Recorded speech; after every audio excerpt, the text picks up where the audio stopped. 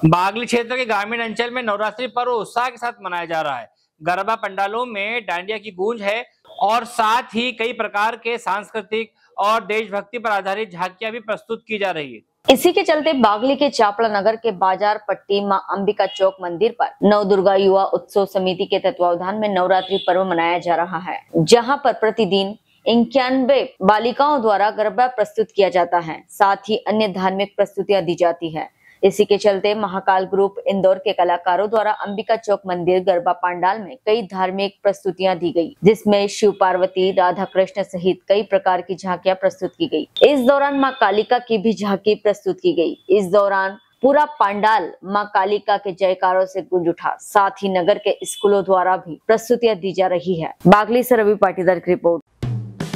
Hello friends आप देख रहे हैं हमारा channel S W twenty four news हमारे सारे वीडियो सबसे पहले देखने के लिए आप हमारे चैनल को सब्सक्राइब करें और पास में लगे बेल आइकोन को दबाना बिल्कुल भी ना भूलें।